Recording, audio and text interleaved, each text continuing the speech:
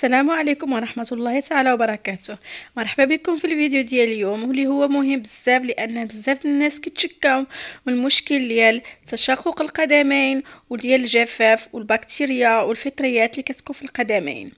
الوصفة ديال اليوم سحرية بزاف لدرجة أنها كتبان النتيجة ديالها من الاستعمال الأول وسمحوا لي على الصوت لأنني ضربني البرد. مع ذلك ما بخلتش عليكم بالفيديو ديال اليوم وبالنصيحه ديال اليوم وهاد الوصفة هذه كذلك حتى نتوما تبخلوش عليا بالاشتراك في القناة وتفعيل الجرس باش يوصلكم أي جديد. لأنكم كيف ما كتستافدوا من الوصفات ديالي وكل مرة غنجيب لكم وصفات جديدة اللي هي مجربة بالتجربة ديالي كنتمنى أنكم حتى نتوما تدعموني بالاشتراك في القناة. وأول حاجة بطبيعة الحال هما المدافين. آه ما يكونوش سخونين بزاف وما يكونوش باردين. المهم الماء اللي غادي يخليونا نحسو باسترخاء القدمين ديالنا والتهدئة ديالهم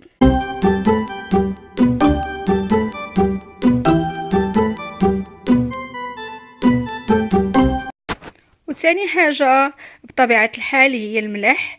لأن أكيد ما غاديش نستغنى ولا التقاليد ديالنا والعادات القديمة اللي كانوا كيعملوا جدودنا. وأن ملي كان كيجي الراجل للدار كان كيدخل تعبان من الخدمة كانوا كيعملوا له الماء والملح.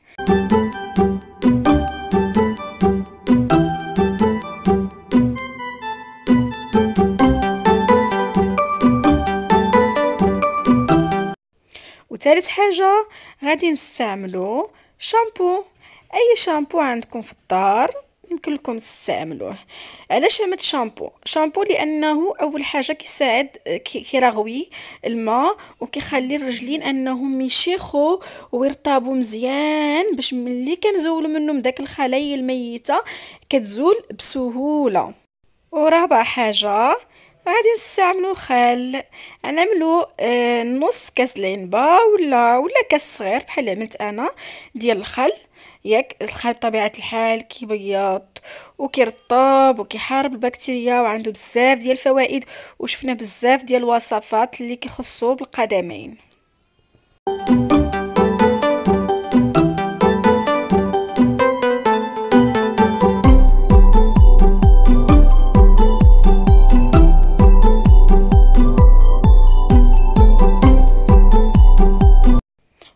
وخامس حاجة واللي هي الأخيرة واللي هي مهمة بزاف هاد الوصفة هذه وهي الأساس لهاد الوصفة وهو الماء ديال التشلال ديال الفم ولا غسول الفم. يمكن لكم تستعملوا أي غسول فم يا لاسترين يا هذا اللي عندي أنا. آه، ماشي مشكل. المهم أن غسول الفم آه، تبين بأنه كيساعد كيحارب بكتيريا كيزول الخلايا الميتة كي كيحرك الدورة الدموية في الأرجل ديالنا كيرخي آه كيهدئ القدمين ديالنا. والصراحه الله فيه بزاف بزاف بزاف بزاف الفوائد في الغسول ديال الفم. وهو كنتمنى أنكم من الأساسيات ديال هذه الوصفة هذه أنكم تعملوه.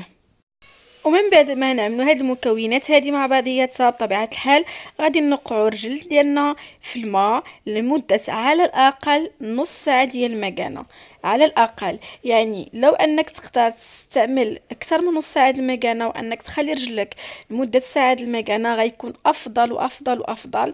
غير شنو نزلوا حداكم شوية ديال الماء دافيين طيبين باش تبقاو فيما يبرد الماء شوية شوية تكبوا تكبوا على رجلكم داك الماء آه سخونين باش ما كيبردش بزاف. وجبدوا الكتيب ديالكم قراوة ولا جبدوا التليفون آه لعبوا به خدموه ولا سمعوا الموسيقى ولا عملوا أي حاجة. المهم تلهاو في شي حاجة بعد من دوز داك الساعة ديال المكانة. وهنا رجعت لكم بعد ما دازت نص ساعة ديال المكانة. ما قدرتش نخلي رجلي بزاف ساعة ديال المكانة علاش؟ حتى باش نكمل الفيديو ديالي. المهم غادي نجبدوا المقشر ديالنا وأنا غنوريكم كيفاش نعملوا مقشر طبيعي. أنا عندي هذا المقشر هذا ديال ميركادونا غادي نستعملو. آه من الأفضل غادي نعملو نيشان في, في هذاك اللعيبة اللي كتحك الرجلين الحكاكه ديال الرجلين. ياك وغادي نفركو الرجلين ديالنا مزيان. غتحكوهم وغتهردوهم مزيان. المهم حتى تشوفوا داك الخلايا الميتة بدات كتزول وداك الجليدات وداك القشيرات بداو كيزولوا